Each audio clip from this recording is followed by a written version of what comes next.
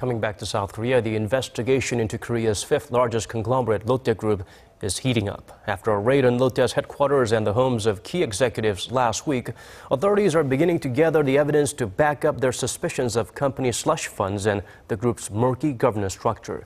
Kim Min-ji gives us the updates.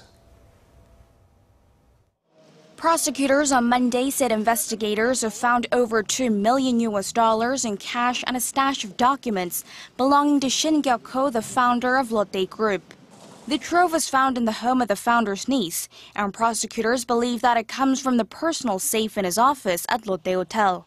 Although company officials questioned on the matter have said the money is from dividends and salaries, prosecutors believe it is part of a company slush fund.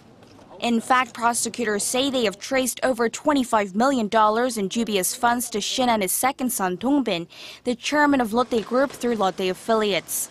This comes after prosecutors raided the company's head office, key branch offices, and the homes of key executives last Friday as part of a probe into the slush fund allegations, possible tax evasion, and allegations the company stockpiled wealth through internal trading among affiliates.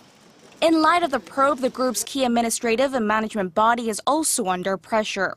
Prosecutors plan to summon key executives from the policy headquarters, which also employs close aides of the owner family.